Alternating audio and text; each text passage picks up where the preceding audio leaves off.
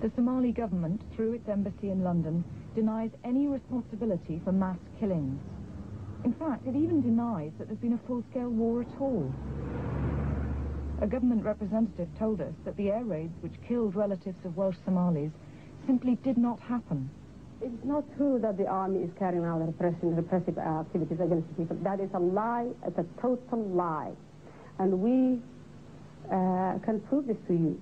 I've, Uh, seen, I've seen film of an aeroplane dropping bombs on a city. I've seen photographs of, of devastated houses that I- could only have been caused by heavy shelling and bombing. I think if you have seen an airplane, I do not think if you have seen an airplane dropping bombs.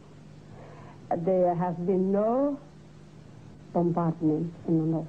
And I repeat, no bombardment, no bombing. There was no need